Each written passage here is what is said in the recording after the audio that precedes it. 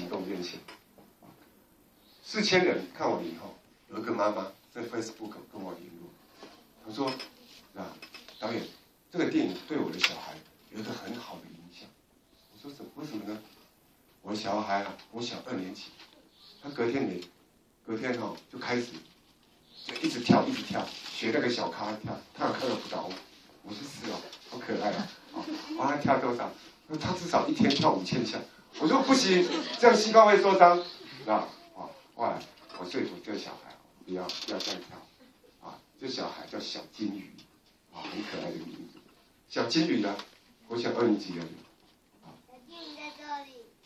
来，小金鱼，小金鱼，小金鱼今天有来，不要害羞，不要害羞。小金鱼啊，跟他妈妈讲说，他要把他的积蓄全部拿出来，请他学校所有的小朋友看电影，读慷慨的小金鱼。然后呢，小金鱼不要害羞了，你看那么多叔叔伯伯阿姨，等一下你要跟募款。我看到后面前面有贴一个哈，好，我们这个学院哈，这个这这个讲座哈是不募款的，好，先要把它打破。我要想叫小经理来先跟各位叔叔伯伯阿姨募款，好，他后来他钱不够，他又做了一个钱桶，啊，到处去跟他讲，我要请我同学看电影，你要不要捐款？好，这个电影如果可以把很正向的力量。渲染出去，我相信三年啊四年前我在写这个电影剧本的时候，我说台湾怎么可能只有这么啊每天报纸打开电视打打开都是一些狗屁叨灶的事乌烟瘴气的事，难道台湾就这样一直乌云罩顶吗？难道台湾没有一点点正面的力量、正面的价值存在吗？所以我当初我去写不倒翁经的时候，哎不倒翁的精神、不倒翁的力量，在整个社会需求。是很很强烈的，啊，那时候景气很差，那时候还在做什么？哎，那个叫什么留留职停薪的那个，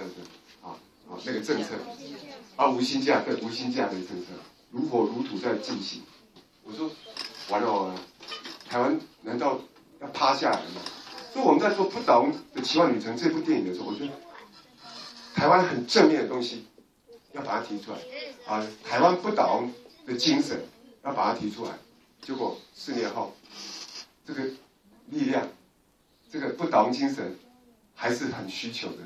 嗯，经过四年，并没有更好啊。我们的政府很多呃自己为非作歹，然后都无所谓，然后再管人民，管人民这个不能那个不能啊。我说我们的政府已经是失去很多他应该政府机制，所以呃所所能够扮演的。所以我说。呃，像三联书院这样的情况之下，啊，我愿意借用陈玉峰老师在《玉峰观》里面提到的一句话，啊，他在教大家啊环境我保护的这个概念里面，他讲到说，啊，他也是借用佛家的话，那我再用借用他的话来跟各位分享，啊，就是菩萨为因，众生为果，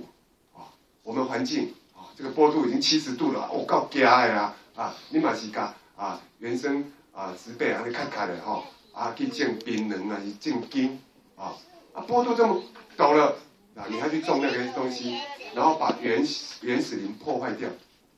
然后呢，土石流来了，你才来掉眼泪说，我们的村庄怎么这是几十年来怎么根本不可能有土石流，怎么会土石流呢？啊，你那时候才掉眼泪，菩萨在你当不当的开发的时候就掉眼泪。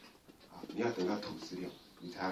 才掉眼泪。啊，一样的，你今天小孩子吵闹，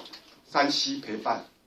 山西保姆化，啊，小孩子吵闹，啊，大人图一个便利，啊，把，手机丢给他，哦，里面亮晶晶的，会动了啊，小孩子啊都还不会讲话，就开始啊那边滑滑滑，一直滑，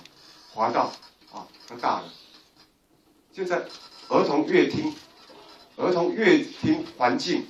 已经恶化到一岁，甚至于不到一岁，啊，最新统计出来的啊，我们小孩子的啊接触山西电视，平均一个礼拜四十七小时，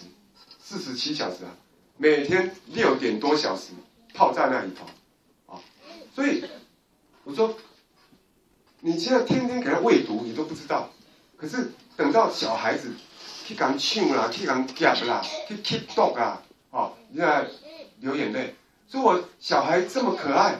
这么善良的小孩，怎么可能会这样？你都不知道是你教他那样的，因为你每天都在喂他赌，你不知道，啊，因为小孩子心智还没成熟，